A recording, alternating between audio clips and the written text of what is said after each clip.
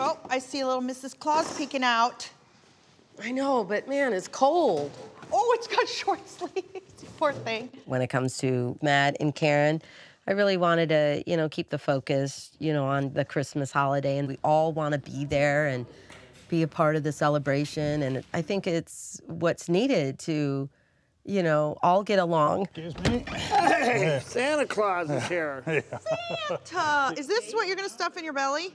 It's definitely getting better. I don't notice as much uh, tension or awkwardness as, say, a few years ago when we all were in the same room together. Yeah. So it's It's a new normal. You mature, and you know, you you button it up because that's what needs to be done. You guys did a good job. It looks delish. I, I'm super glad that we're able to get, come together for Jackson, and he'll get a kick out of it. Yeah, well, that's that's what it's, Christmas is for the kids, right? Yeah. So put it, put everything, compartmentalize, put everything aside.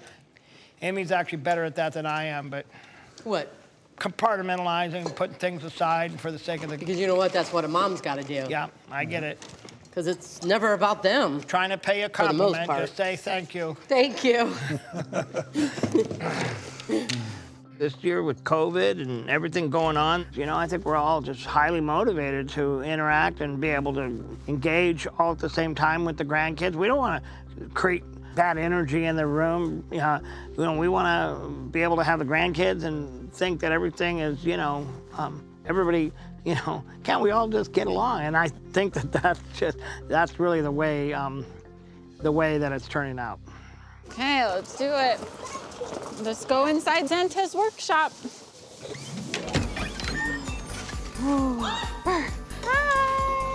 Hi. Come here. Walking in MCC, see the decorations for the first time, and it looks fantastic. My dad's calling it Santa's workshop, and you know, my dad made it look really cool. I've never been to Santa's workshop, but I would imagine that's what it looks like. Hi, Lilah Ray. Don't you guys all look cozy? Oh, we're cozy bozy. They came in the mail today, so mom had to. Cute.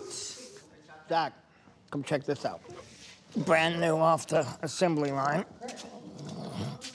Oh, oh wow, did he finish it? No, it's not finished. We haven't covered it. One's gonna be leather like yours, and then one's gonna be. I can sit this in is it, just, though? Yeah, just temporarily Is the rigged springs up. in? What? What springs are these? It's a different spring. system. I, I went a little higher because my legs are Yeah. just a little longer. But it's the same concept. This is way cool. I made some progress on my custom chair, and I'm I'm happy to be able to show Zach. And I'm planning on having multiple chairs for different places. I'm really focused on having furniture that's comfortable to sit in. Each one is slightly different, so we're dialing, baby. We're dialing. I would accept within a foot of being fitting. This is like within like half an inch. Right, right. It's the dwarf thing, though. These pants, for example, are about a foot out, but they fit. Our standards are less. Uh, so it. this chair is very good. The chair project is very cool, okay? There's We're jumping on that train. yeah, very few things in this world fit us perfectly. Typically, people that have physical short statureness, we will tolerate things. We will call something that fit that fits when really it's good enough. You know what I'm saying? So yes, having a chair that perfectly fits Yeah. is very cool. Hey, mom. Amy, You come should sit in sit in this. this for a second. Just see how you, you know, fit. I feel like I'm sitting in your throne. Get out of here. Would you be more comfortable if you if your feet were just grazing the ground? It may, but I would rather just have a little step stool that you put your feet on because if not, then it feels way too low. Right. Well, I didn't know he was doing a chair project, but Zach got a chair back in the day in high school, and we all called it Zach's chair. So I think, you know, Matt took that idea and ran with it. For sure. So are you all settled in and decorated and everything? You know, pretty much. I, I think um, the main rooms are done. I the off. I have an office now. I've never had an office, so that I'm kind of like doing slowly. Do any of your kids live with you still?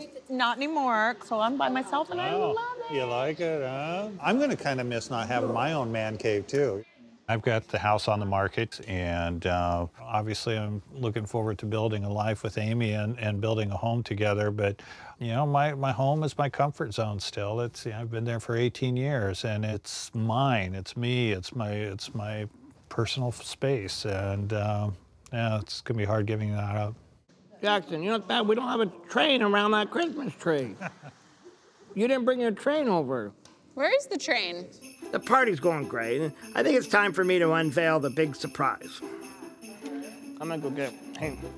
I hope Jackson loves it. I mean, I really can't wait to see the look on his face. I'm gonna throw it at Daddy. Do it.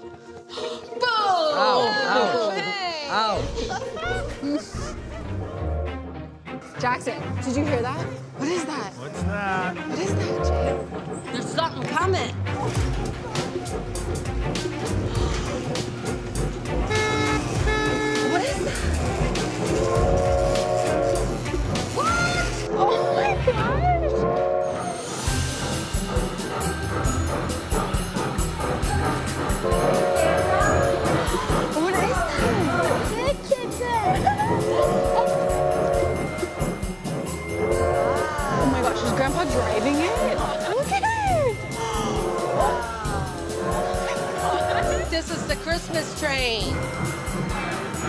Jackson, welcome to the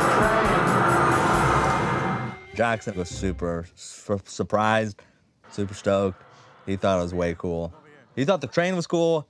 Grandpa was driving the train. There's multiple Yeah. elements here. This is Grandpa's new train.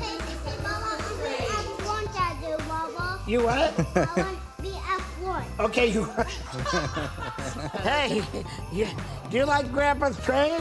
Give me five about that. I mean, Jackson is so excited. I mean, he just wants to jump in the conductor's chair and take it for a spin. It's really great to surprise him with something so cool. I think I'm gonna let your daddy drive this train here. Now you're gonna stay right here, Jackson. I, I really think you could drive this. Okay, show me first. Okay, I will. okay. When my dad first said, "Hey, you're gonna drive," I'm like, "Oh, whoa, well, how do you work this? what do you do? how do you drive it?"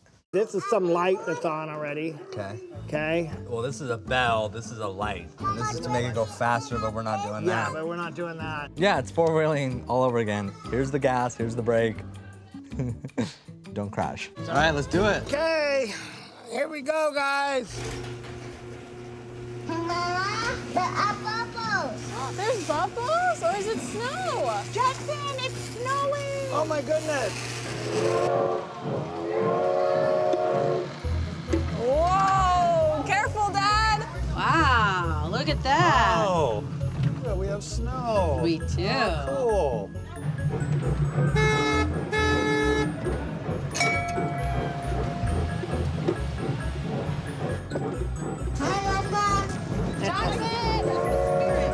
The train is awesome. It far exceeded my expectations.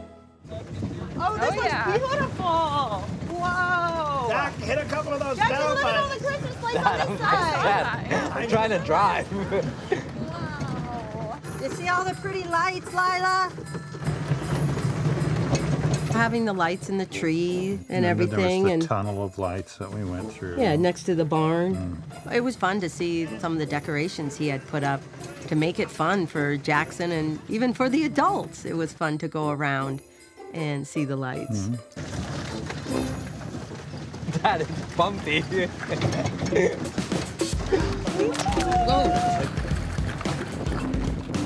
Jackson, is the train bumpy? Yeah. Yeah, it's definitely a little bit bumpy. I can't. Just winging it. I can't see. You cannot see anything. You had to like stick your head and out it the was window. night, and um, Yeah, it was very. In, I almost crashed multiple times. All right. This is the adventure of the train. They did a little pathway with all the lights. Really fun, really cool. yeah, Um, kids loved it. I couldn't see any of it, but Show Jackson the buttons to hit.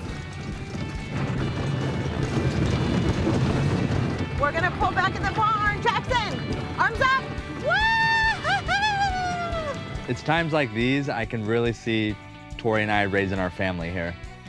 It's cool to be doing stuff that my dad did for us as kids. Seeing the farm through Jackson's eyes makes it even more special.